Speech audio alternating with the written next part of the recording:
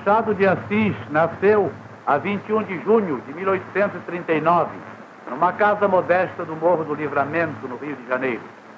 No Morro do Livramento e na Academia Brasileira estão os dois polos da vida admirável do grande escritor. Foram seus pais Francisco José de Assis, operário pintor de casas, e Maria Leopoldina Machado de Assis, que auxiliava o marido trabalhando no serviço doméstico do senhorio. Baleiro, coroinha, tipógrafo, revisor de provas, jornalista, funcionário público, tudo isso ele foi sucessivamente. E mais do que isso, Machado de Assis foi poeta, escritor perfeito, romancista ainda não igualado. Como homem e como artista, representa para os brasileiros um alto e puro exemplo. A estátua de Machado de Assis enobrece a fachada da Academia Brasileira e que foi um dos fundadores e o primeiro presidente. Faleceu o grande escritor a 29 de setembro de 1908, no Rio de Janeiro. A Academia Brasileira conserva carinhosamente a mesa e a poltrona, o tinteiro e a pena, o pince de Machado de Assis.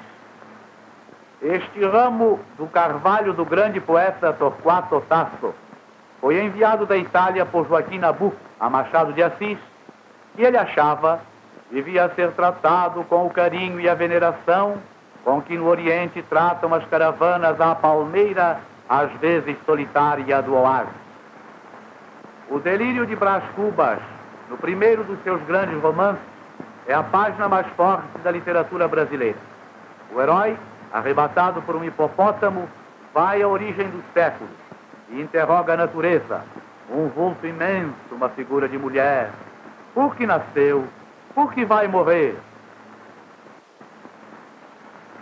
No romance Quincas Borba, um filósofo e um cão têm o mesmo nome. É livro de pensamento. Rubião, o personagem central, acaba louco, julgando-se Napoleão III, crente que o espírito do filósofo, seu amigo, se encarnara no cachorro. Dom Casmurro é romance de amor e de ciúme, onde a linda Capitu, de olhos de ressaca, tenta e atormenta o acanhado Bentinho. Os manuscritos de Esaú e Jacó e de Memorial de Aires pertencem à Academia Brasileira. No memorial, o escritor retratou a si mesmo e a Dona Carolina, sua esposa, cujo amor punha num recanto um mundo inteiro.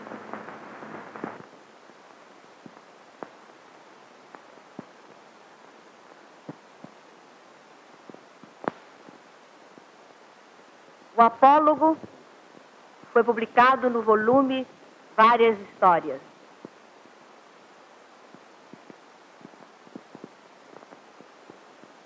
Era uma vez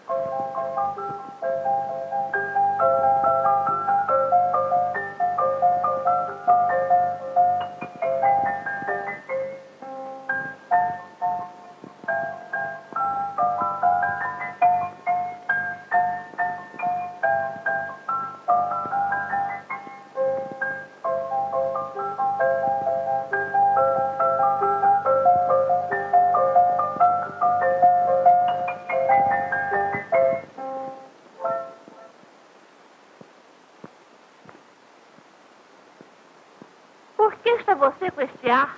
Toda cheia de si, toda enrolada para fingir que vale alguma coisa neste mundo. Deixe-me, senhora. Que a deixe? Que a deixe por quê? Porque lhe digo que está com um ar insuportável? Repito que sim e falarei sempre que me der na cabeça. De cabeça, senhora. A senhora não é alfinete, é agulha. Agulha não tem cabeça. Que lhe importa o meu ar? Cada qual tem o ar que Deus lhe deu. Que importa por sua vida e deixa dos outros?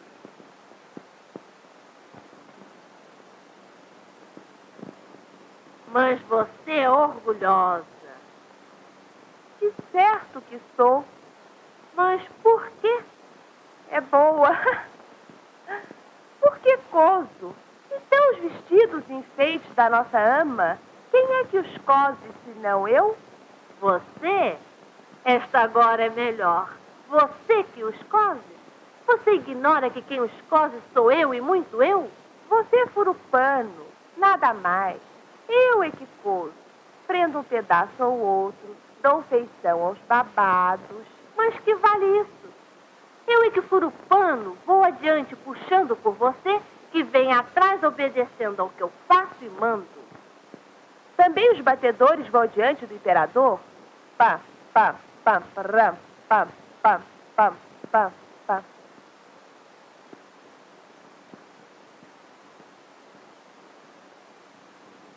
Você, imperador? Não digo isso, mas a verdade é que você faz um papel subalterno ainda adiante vai só mostrando o caminho. Vai fazendo trabalho obscuro e. Eu é que prendo, ligo, ajunto.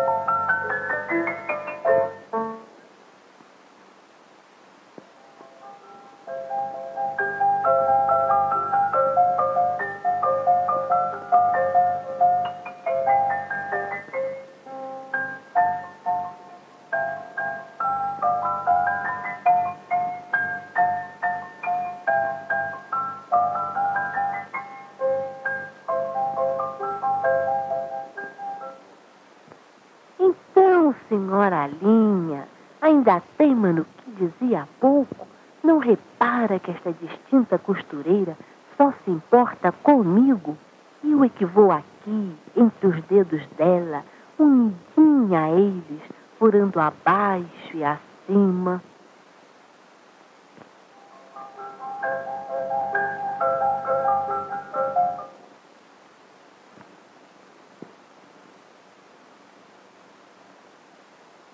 Ora agora, quem é que vai ao baile no corpo da baronesa, fazendo parte do vestido de elegância? Quem é que vai dançar com ministros e diplomatas, enquanto você volta para a caixinha da costureira antes de ir para o balaio das mucamas? Vamos, diga lá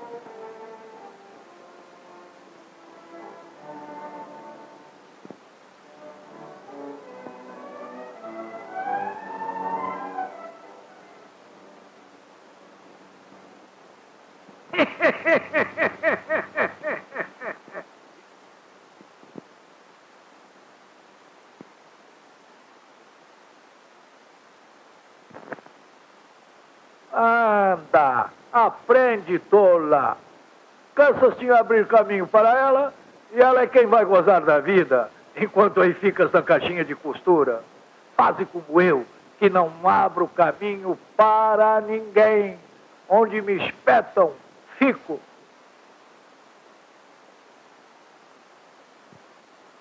Contei esta história a um professor de melancolia que me disse, abanando a cabeça: Também eu tenho servido de agulha a muita linha ordinária.